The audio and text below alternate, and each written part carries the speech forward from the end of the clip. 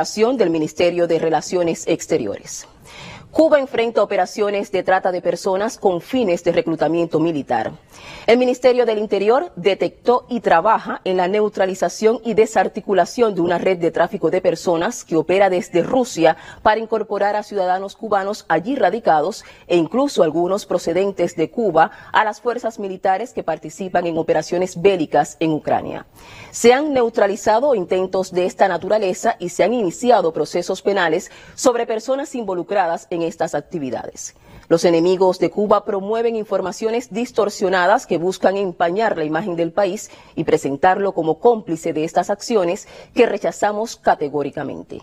Cuba tiene una firme y clara posición histórica en contra del mercenarismo y desempeña un papel activo en las Naciones Unidas en repudio de esa práctica, siendo autor de varias de las iniciativas que se aprueban en ese foro. Cuba no forma parte del conflicto bélico en Ucrania.